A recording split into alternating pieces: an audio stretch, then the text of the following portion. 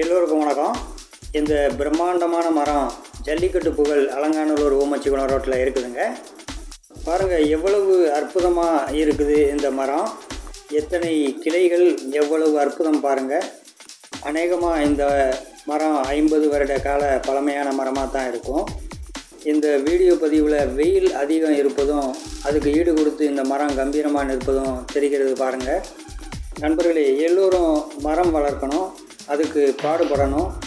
மரம் வளர்ப்பு பற்றியும் அதன் பலன்கள் பற்றியும் அனைவருக்கும் எடுத்து சொல்லணும்.